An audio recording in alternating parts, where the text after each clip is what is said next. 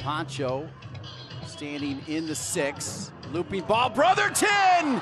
And saved by Sparrow. Brotherton has got a couple goals already, almost had another one. Sparrow made a fantastic save. Here you see Fortune.